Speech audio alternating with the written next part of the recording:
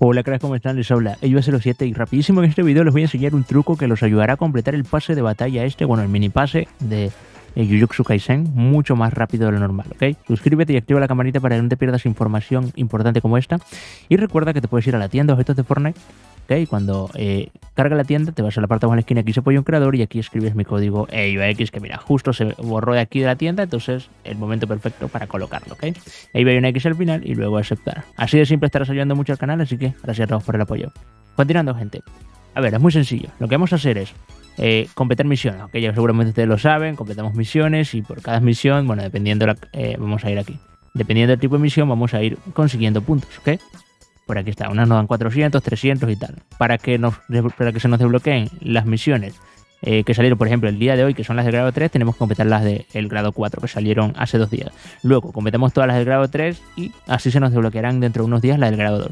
Pero lo importante y el consejo que les quiero dar aquí es que completen estas misiones que parece que no, pero nos van a dar mucha XP. Estas que dicen misiones de descubrir, ¿ok?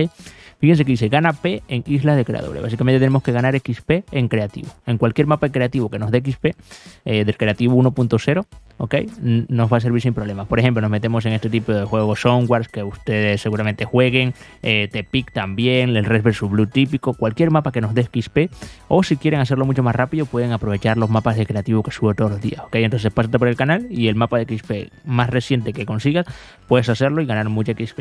Y créeme que esta misioncita te va a ayudar a subir mucho el mini pase, porque fíjense, tiene 5 fases ¿ok? Te gana puntos de XP en creadores y con un mapa de XP yo creo que puedes completar las 5 fases de una sola vez y conseguir eh, varios miles de puntos. No sé exactamente cuánto, pero ponte que 4.000 puntos, 3.000 puntos. Ya te llevas una parte del pase. Ahora, hoy salieron nuevas misiones de esto también de gana puntos de creativo, pero fíjense que dice que tenemos que completar las misiones anteriores. Entonces completamos estas 5 fases y se nos desbloqueará esta que, que salieron el día de hoy y también lo mismo, hacemos otro mapa de XP y créanme que van a poder llegar como a la mitad del pase de batalla sin mucho problema y no estoy exagerando.